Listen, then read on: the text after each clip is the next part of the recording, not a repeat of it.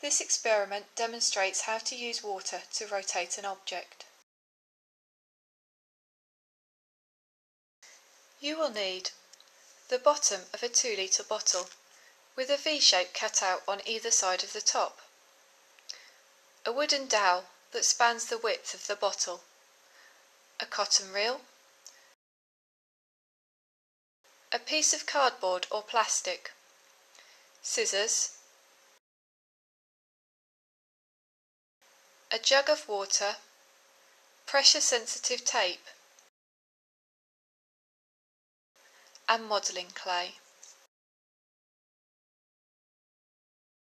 Cut four small rectangles out of the cardboard or plastic.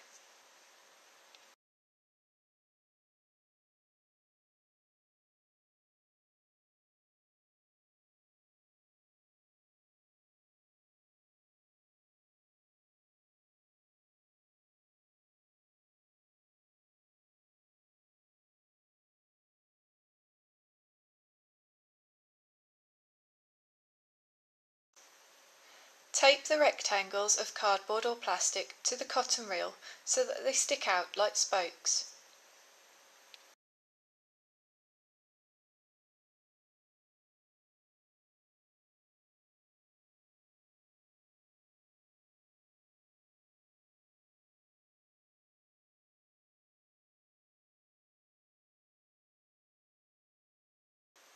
Thread the dowel through the centre of the cotton reel Use modelling clay to wedge in the holes to ensure the dowel is secure in the reel and does not move.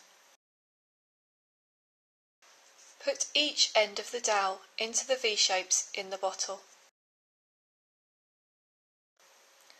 Holding the jug of water over the wheel, pour the water over it and watch the wheel spin around.